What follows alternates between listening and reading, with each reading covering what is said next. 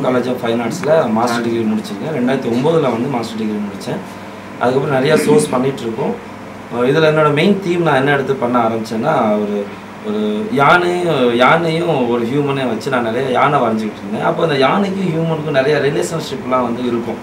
அவங்க உட்கார சொன்னால் உட்காரும் எந்திரிக்க சொன்னால் எந்திரிக்கும் நமக்கு ஆசீர்வாதம் பண்ணும் ஒரு ரூபா வாங்கிட்டு இந்த மாதிரியான நிறையா கான்செப்ட் வந்து பார்த்துக்கிட்டே இருந்தோம்.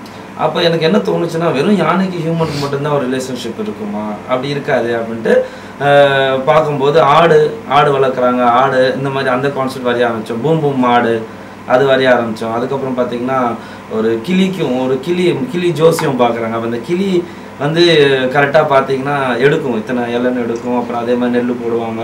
ஸோ அந்த ரிலேஷன்ஷிப்பை வந்து நான் நிறையா என்ஜாய் பண்ண ஆரம்பித்தேன் ரசிக்க ஆரம்பித்தேன் ஸோ அப்படி பண்ணும்போது அதுக்கப்புறம் எனக்கு அந்த கிளி ஜோசியத்துக்கு அப்புறம் என்ன தோணுச்சுன்னா ஆஸ்ட்ராலஜின்னு ஒன்று இருக்குது ஸோ அதுலேயும் பார்த்தீங்கன்னா நிறைய ரிலேஷன்ஷிப் இருக்கும். ஃபார் எக்ஸாம்பிள் இப்போ அந்த கடக ராசி அப்படின்னா அந்த நண்டுக்கும் ஒரு ஹியூமனுக்கும் ஒரு ரிலேஷன்ஷிப் அந்த ராசிக்கு ஒரு சில கேரக்டர்ஸ் இருக்குது சில இப்படி தான் இருக்குங்கிறதெல்லாம் இருக்குது ஸோ அதை நான் இன்ஸ்பயர் ஆகிட்டேன் அதில். அந்த மாதிரி ஒர்க்கு இப்போ நான் நிறையா பண்ணிகிட்ருக்கேன் மேச ராசி பண்ணியிருக்கேன் இந்த மாதிரி. நிறைய ராசி ரிலேட்டடாகவும் நிறையா ஒர்க் பண்ணிகிட்டு இருக்கேன். இப்போ ஃபார் எக்ஸாம்பிள் நம்ம ஒரு ஊருக்கு போகிறோம் அப்படின்னா அந்த ஊரோட ஒரு அடையாளத்தை தான் நம்ம வாங்கிட்டு போய் நம்ம ஊரில் வச்சுக்கணும் அப்படின்னு நினைப்போம். ஸோ அந்த மாதிரி எனக்கு என்னென்னா வெளிநாட்டிலேருந்து வர்றாங்க. அவங்க வந்து ஒரு அடையாளத்தை ஒன்று இங்கேருந்து கொண்டு போய் வைக்கணும்னு நினைக்கும் போது நம்ம ஊரோட கலாச்சாரத்தை அதில் இருக்கணுங்கிறது தான் எங்களோட மெயினாக பேஸு ஸோ அப்படி கலாச்சாரம் பார்க்கும்போது நம்ம வந்து நம்ம ஊரில் இருக்க யானை அவங்க பட்டை இங்கே இருக்க ஸ்டைலில் நீங்கள் பார்த்தீங்கன்னா நம்ம ஊரில் இருக்க அந்த மாலை எப்படி போடுவாங்க புட்டு எப்படி வைப்பாங்க அந்த ஸ்டைலை மெயினாக பேஸ் பண்ணி நம்ம இன் தமிழ்நாடு கலாச்சாரத்தை மெயினாக பேஸ் பண்ணி தான் இந்த ஒர்க்கெல்லாம் நாங்கள் பண்ணிகிட்ருக்கோம் ஏன்னா மக்களும் அதை தான் விரும்புகிறாங்க அண்ட் வெளிலேருந்து வந்துட்டு வாங்கிட்டு போகிறவங்களும் அதை தான் விரும்புகிறாங்க தேங்க்யூ ஓவியர் வாசுதேவன் அண்ணாமலை. என் சொந்த ஊர் சேலம் மாவட்டம் எடப்பாடி. நான் கடந்த ரெண்டாயிரத்தி அஞ்சுலேருந்து ரெண்டாயிரத்தி ஒம்பது வரைக்கும் சென்னை காலேஜ் ஆஃப் ஃபைன் ஆர்ட்ஸில் என்னுடைய இளங்கலை படிப்பு பிஎஃப்ஏ படித்தேன். அதுக்கு பிறகு ரெண்டாயிரத்தி பதிமூணில் நான் என்னுடைய மாஸ்டர் டிகிரி முடிச்சுட்டு நான் ரெண்டாயிரத்தி ஒம்பதுலேருந்தே நான் என்னுடைய முதல் கண்காட்சியை நான் வைக்க ஆரம்பிச்சிட்டேன். அதுக்கு பிறகு என்னுடைய கண்காட்சிகள் வந்து இந்த தமிழ்நாடு நம்ம தென்னிந்தியாவை சார்ந்த இந்த சோழர் கால கட்டடக்கலை பல்லவர் கால கட்டடக்கலை இது மாதிரியான அந்த ஆர்கிடெக்சர் பேஸ் பண்ணி தான் இருக்கும். அதில் ஆர்கிடெக்சர் அண்ட் பர்ஸ்பெக்டிவ்ங்கிறத வந்து எனக்கு ரொம்ப அட்ராக்ட் பண்ணியிருக்கு. நான் வந்து படித்த சப்ஜெக்ட்லேயும் அது இருக்குது அதில் நாங்கள் க கல்லூரி மூலமாக நாங்கள் இந்தியா ஃபுல்லாக போன அந்த ஆல் இந்தியா டூர் வந்து எனக்கு ஒரு பெரிய ஒரு உந்துதலாக இருந்தது. அங்கே பார்க்கும்பொழுது எல்லா கன்ஸ்ட்ரக்ஷனையும் நான் பார்க்கும்பொழுது நம்ம தென்னிந்திய கட்டடக்கலை அந்த திராவிடியன் ஆர்கிடெக்சர் அது வந்து எனக்கு ரொம்ப ஹெல்ப்ஃபுல்லாக இருந்தது. எனக்கு ரொம்ப அட்ராக்ட் பண்ணுச்சு எனக்கு.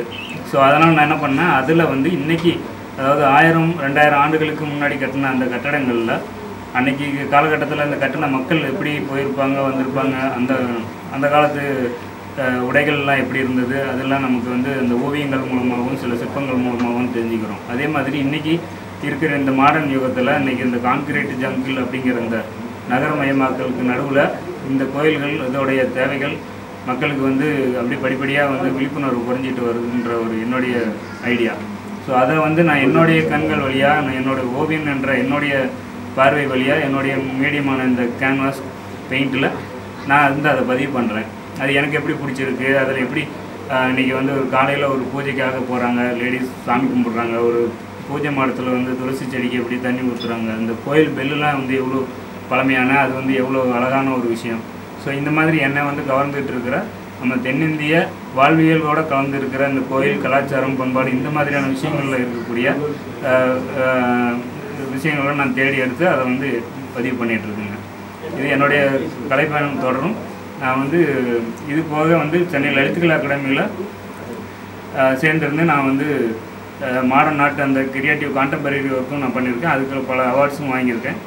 வந்து என்னுடைய எக்ஸிபிஷன் வந்து இந்தியா மற்றும் வெளிநாடுகள்லேயும் வந்து என்னுடைய ஓவியங்களை வந்து காட்சிப்படுத்தியிருக்கேன் இது வந்து நாங்கள் என்னோடய ஃப்ரெண்ட்ஸ் மூணு பேர் ஜாயின் பண்ணி பண்ணிக்கிட்டு இருக்கிற இது மூணாவது exhibition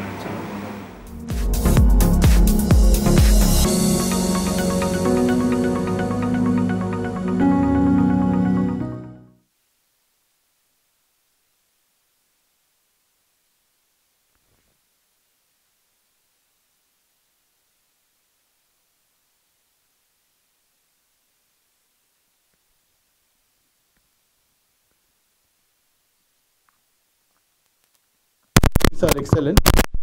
We hope to do more sales of this exhibition. And also Mr. Rajendra has done something different series this time.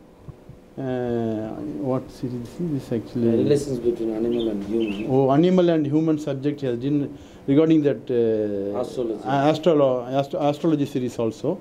And Mullai has done almost Ganesh paintings, so no need to explain about that. Even uh, Vasudevan has done some excellent paintings of temples and bell series and really really realistic paintings also. He always uh, change, changing his style also, but I'm happy that he has done doing different kind of subjects also. And his works uh, also hope will sell them. Thank you.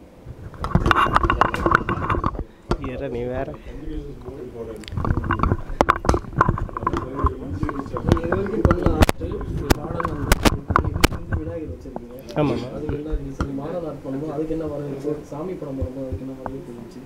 அது மட்டும் ஒரு விஷயம் சொல்லுங்கள் hi என்னோட பேர் வந்து முல்லைராஜன். நான் வந்து காலேஜ் ஆஃப் ஃபைன் ஆர்ட்ஸில் வந்து மாஸ்டர் டிகிரி பண்ணியிருக்கிறேன். டூ தௌசண்ட் தேர்ட்டீனில் ஃபினிஷ் பண்ணேன். ஆம், நான் வந்து ரெண்டாயிரத்தி ஆறில் ஃபஸ்ட்டு ஷோ பண்ணோம். நானும் ராஜேந்திரனும் சேர்ந்து பண்ணோம். அந்த ஃபஸ்ட்டு ஷோவே எங்களுக்கு ரொம்ப சக்ஸஸாக முடிஞ்சுது. அதை தொடர்ந்து அப்படியே நிறைய ஷோ பண்ணிக்கிட்டே இருந்தோம்.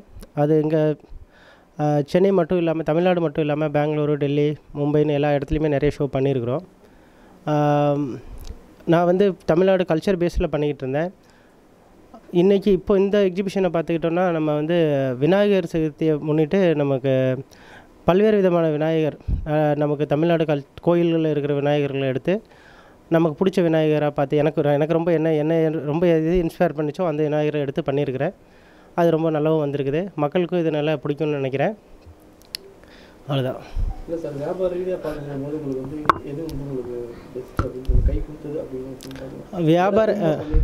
ஆ வியாபார ரீதியாக பார்க்கும்போது நான் வந்து கல்ச்சர் பேஸில் பண்ணது தான் நிறைய இது சேல்ஸ் பண்ணியிருக்கிறேன்.